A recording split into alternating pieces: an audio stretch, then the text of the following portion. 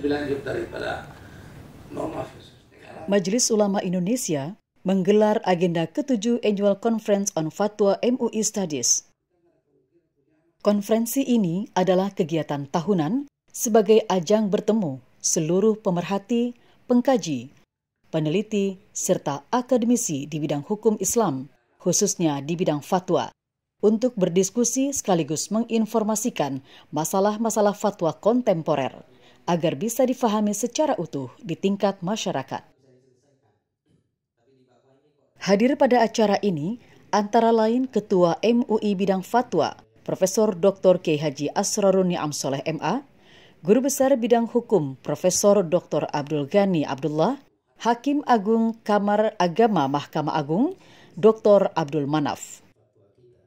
Dalam sesi pleno, para ahli di bidang hukum Islam memberikan perspektif terkait fatwa, takni, dan juga pembangunan hukum nasional. Dalam kesempatan itu, Kiai Haji Asrorun Ni'am Soleh mengatakan muncul berbagai pemikiran konstruktif serta hal baru yang bisa menjadi bahan utama di dalam pengkajian hukum Islam.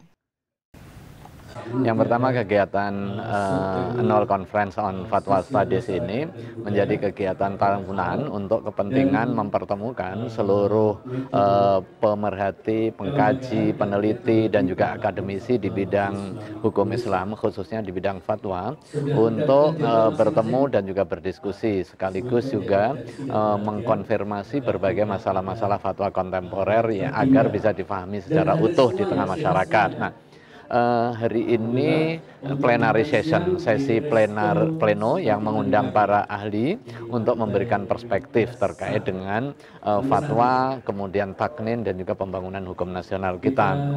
Nah, muncul berbagai pemikiran uh, konstruktif dan juga hal baru yang bisa menjadi bahan utama di dalam pengkajian hukum Islam kita misalnya diskusi mengenai soal uh, kemengikatan fatwa, kemudian strategi di dalam upaya mengoptimalkan uh, fatwa uh, dalam uh, pembangunan hukum nasional.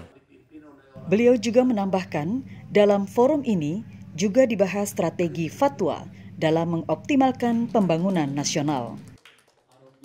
Dengan tujuan agar fatwa diterima dan dijadikan pedoman di dalam kehidupan sosial masyarakat, berbangsa, dan bernegara. Dari Jakarta, tim liputan TV MUI melaporkan.